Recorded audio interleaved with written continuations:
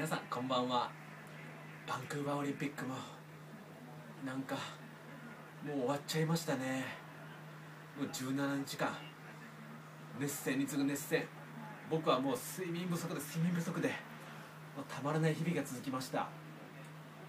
もう朝の3時に起きたりとか4時に起きたりとかしてもう目をこすりながら目をこすりながら目をこすりながら観戦してそしてもう必死にオリンピックを見ました。そしてもう選手たちの熱き戦いに何回も何回も何回も涙を流しました。本当に皆さん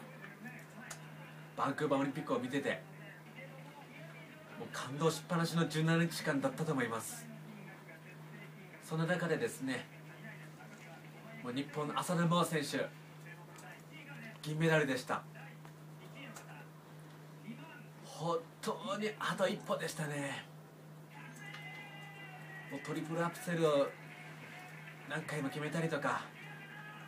もう浅田真央さん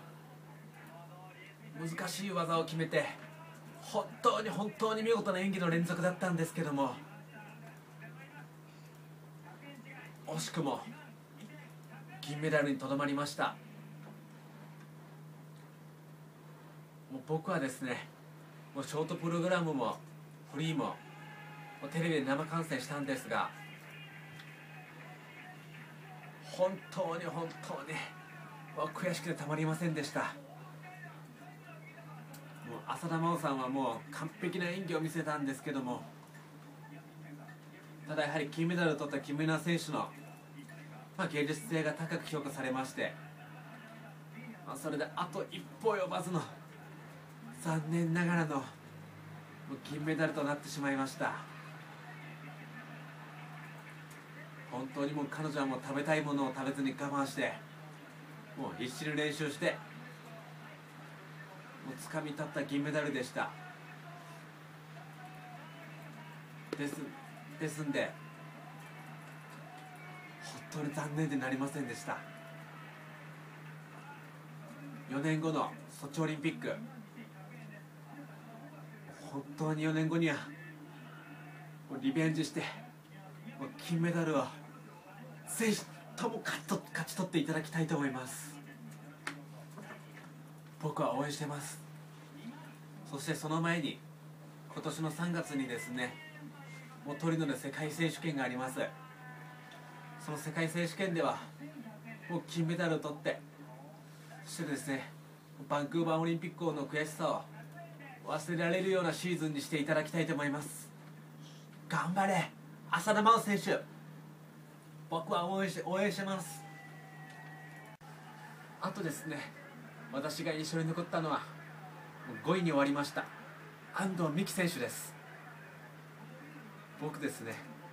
もう彼女のことはすっごいオリンピック始まる前からずっと応援してまして予想ではですねもう金メダル候補に挙げていました。まあそんな彼女の演技を見まして本当にフリーの演技を見ての感想なんですけどももうクレオパトラにしか見えませんでした。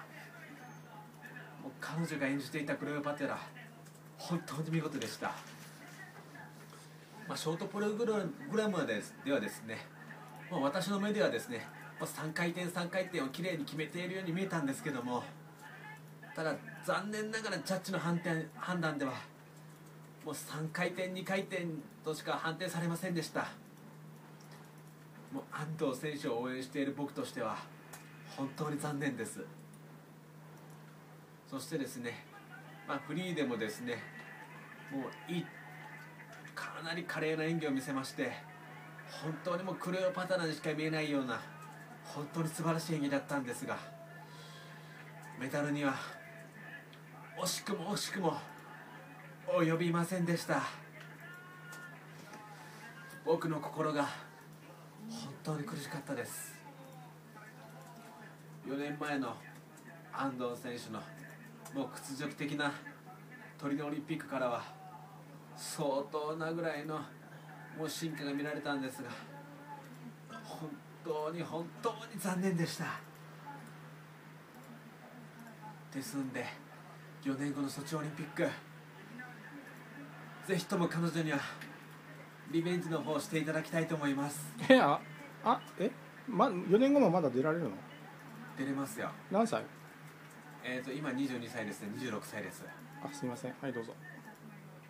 そしてですね、えー続いて僕が残念だと思ったのはスピードスケートチームパシュート団体追い抜きです。もう準々決勝の韓国戦。準決勝のポーランド戦を順当に勝ち抜き決勝戦のドイツ戦。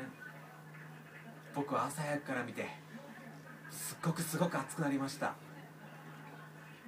もう前半からですねもう日本が圧倒的に圧倒的にリードをしてもうこれは僕も最後の最後に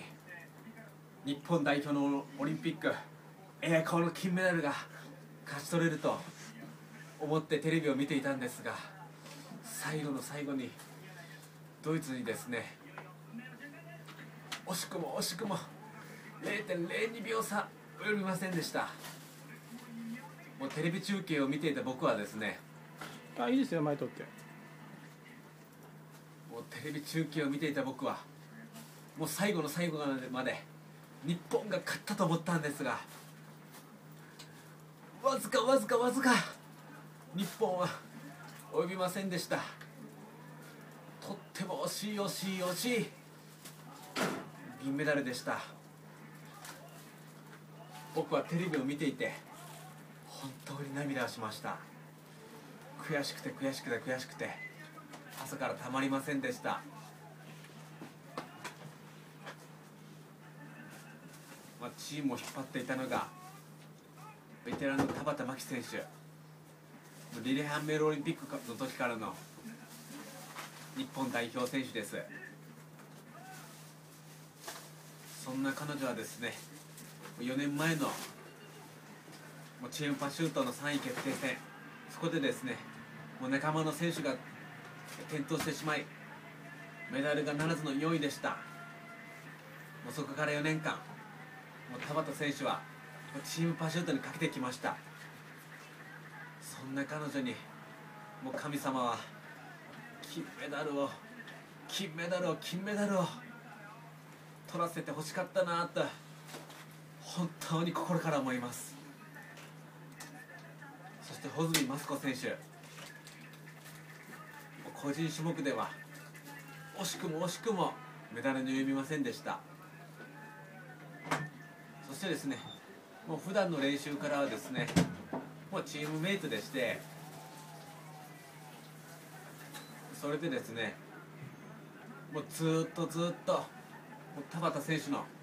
背中を追っかけてきました。もう田畑選手と穂積選手はですねもう従業員が40人の小さな会社でですね社長の理解を得ながらずっと頑張ってきました。そんな彼女たちに神様は金メダルを取らせてあげられなかったのでしょうか。本当に残酷です。そしてですねもう小平選手も個人種目ではあとわずか及ばず5位という本当とっても惜しい結果に終わりました。ですので団体では本当に本当に本当に金メダルを取ってほしかったです。このチームパシュートの0.02秒差の叶えられなかった夢は4年後のソチオリンピックできっときっときっと勝ち取ってもらえると僕は信じています。